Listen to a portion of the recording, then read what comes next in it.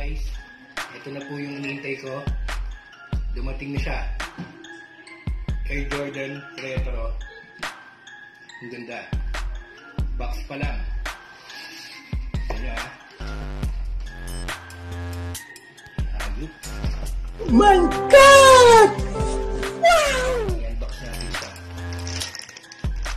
Ayan o. Ganda o.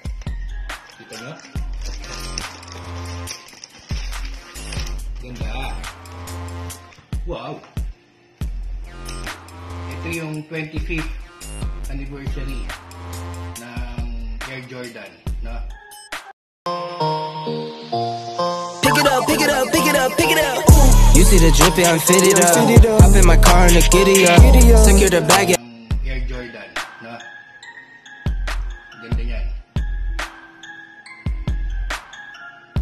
No? Ito yung Jubilee.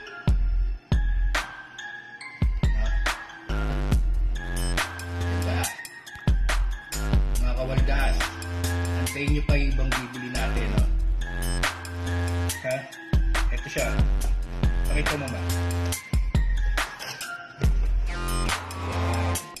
Air Jordan 11 Retro. No? Ang pagkakaiba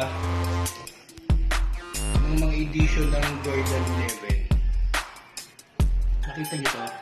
Yan. Sa ibang edition, wala. Wala yan. No? Yan. Wala yan. No?